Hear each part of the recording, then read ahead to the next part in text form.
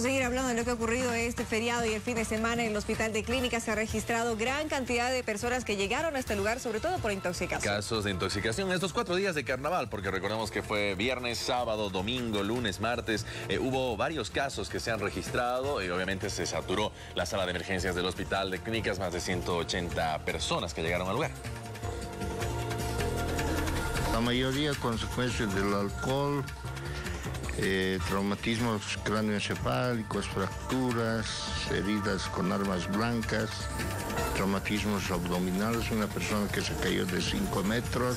Hasta el momento estamos en 180 pacientes desde el sábado. Este servicio siempre es lleno. Si se fijan, hay personas en el piso, faltan camillas y bueno, ya es pequeño para el área de influencia que tiene 2 millones de